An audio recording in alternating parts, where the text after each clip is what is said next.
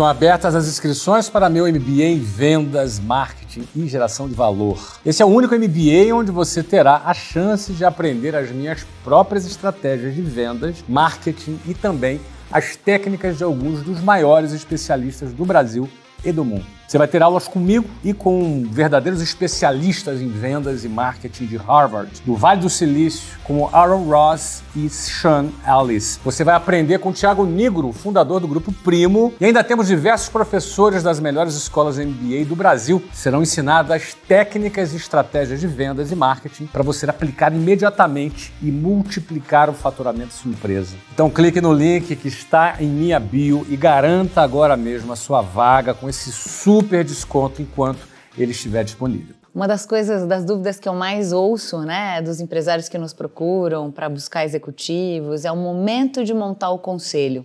E o pequeno empreendedor como vocês acredita sempre não ser a hora, porque conselho é caro, porque conselho não é para mim, porque quem vai querer sentar à minha mesa contribuindo com o meu negócio.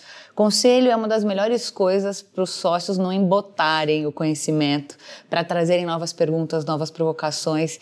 Então, acredite no potencial do teu negócio e ter alguém te mentorando, te aconselhando, sempre vai contribuir para mudar as perguntas e para te levar mais longe. Esse é o recado. Thaís, muito obrigado pela obrigado. sua presença, sua generosidade. E você trouxe aqui a sua experiência e contribuiu com a nossa audiência. Eu muito que agradeço, obrigado. aprendi muito. Foi muito. Aliás, nós aprendemos muito com você também. E a história das sete montanhas você vai ter que contar pra gente de outro jeito. Em outro podcast. Semesato, só mensagem final, querido, por favor. Nossa, eu queria deixar uma mensagem para você, pequeno empreendedor, você que é executivo, você está começando ou pensando em começar a sua trajetória profissional. É, eu tive, com certeza, mais de 100 sócios. Então a mensagem é a seguinte: é muito bom ter um sócio? Sim, pode ter certeza. Eu não teria chegado aqui não fossem esses mais de 100 sócios que eu tive ao longo da minha trajetória. Claro que busque esse sócio que seja alinhado com seu sonho, que você tenha facilidade de, nos momentos difíceis, poder trocar com ele nos momentos que vai exigir paciência, vai exigir é, o calor da negociação, né? ou seja, traga pessoas que você consiga ter alguma forma né, de crescer junto, que vocês tenham alinhamento, que tenha lealdade. Eu tenho certeza que ter um sócio é muito bom. Semesato, muito obrigado pela sua generosidade. Semesato que pousou de helicóptero do lado aqui vai sair correndo para outro compromisso é verdade. de tanto valor que ele dá para vir aqui deixar a contribuição para você. Semesato, muito obrigado. Tá, obrigado cara? você pelo privilégio. Prazer, cara.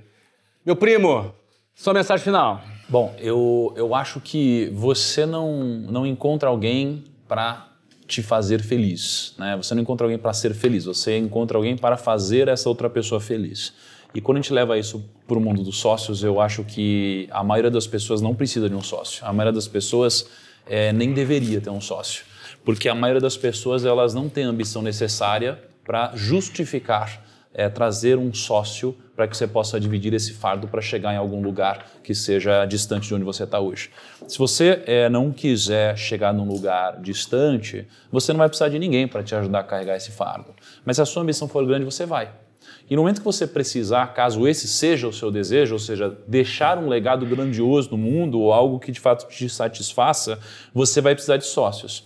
E no momento que você tiver sócios, você vai se deparar com uma dura realidade, que eu aprendi com muita dor, mas que hoje faz muito sentido.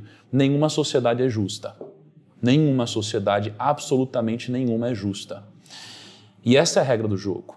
Agora, você pode aceitar que a sociedade não seja justa, mas você não pode aceitar que ela não tenha mecanismos para que ela não fique mais justa ao longo do tempo. Porque é impossível que você encontre a justiça na vírgula hoje mas é importante e essencial que todos os dias ela seja um pouquinho mais justa. Porque no momento que você está hoje, às vezes você vai acreditar que você merece mais ou que você merece menos. E no momento que essa realidade acontecer, o mundo já vai ter mudado de novo, a contribuição de cada um já vai ter mudado de novo e você vai precisar movimentar isso de alguma forma. Então, que a sua sociedade não comece justa, mas que todos os dias ela seja meritocrática o suficiente para que ela seja cada dia um pouquinho mais justa, porque a sociedade é um organismo vivo. É isso que eu aprendi E é isso que eu acredito. Espero que te ajude de alguma forma. Obrigado, meu querido, pela sua presença, pela sua contribuição.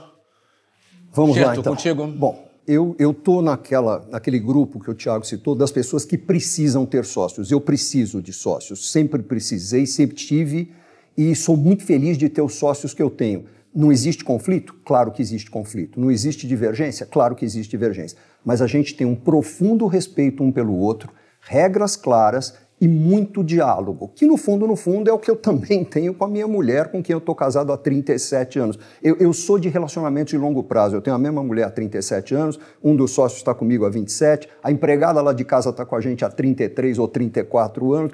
E como é que é isso? Com regras claras, com diálogo, com respeito e com troca e transparência. A Thaís citou logo no início aqui a palavra transparência, isso é fundamental. Agora, volta e meia, numa palestra que eu estou fazendo sobre como estruturar uma operação de franquia, alguma coisa desse tipo, alguém levanta a mão e fala assim: e o que, que pode dar errado numa operação de franquia?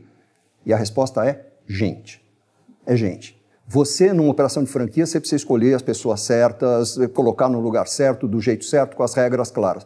Numa sociedade, mais ainda. Você precisa ter as pessoas certas do seu lado. É como um casamento, só que é um casamento sem o sexo e sem o perdão. Então é, é duro. Sociedade não é fácil, é um exercício do dia a dia. Mas quando você tem diálogo, tem respeito, tem transparência e regras claras, cara, hum, é difícil dar errado. É difícil dar errado. Bem, Xerto, muito obrigado pela tua presença, pela sua generosidade também. Eu vou encerrar olhando para você, deixando um pouquinho a minha mensagem também, agora nesse final, é, principalmente a você que tem sócio. Primeiro, eu quero te pedir que você mande esse vídeo para o teu sócio. Mande para ele, ou para os seus sócios, para que ele também assista e ele aprenda aqui com a experiência dos nossos conselheiros nesse programa. Segundo, eu quero dizer para você que sócio é alguém que você escolheu para dividir os seus sonhos. Você não, nasce, você não escolheu a família que você nasceu, a tua mãe, o teu pai, o teu irmão, você simplesmente nasceu ali. Eventualmente, uma boa família, eventualmente não é uma boa família. Eventualmente você foi bem tratado, talvez você não tenha sido tão bem tratado pela sua família, mas a sua sociedade é você que escolhe. Com quem você vai dividir o seu sonho e o seu futuro é você que escolhe. Escolhe antes, durante também. Porque se eventualmente não estiver funcionando, você tem a opcionalidade, com um contrato de acionista muito mais facilmente, de sair daquela sociedade. Mas no final, da, no final do dia é você quem escolhe quem vai dividir os sonhos com você. Então mande esse vídeo para essa pessoa com quem você divide seus sonhos. Manda até uma mensagem para ele assim: Fulano, Fulana, é um prazer dividir os meus sonhos com você. Assiste esse vídeo aqui também.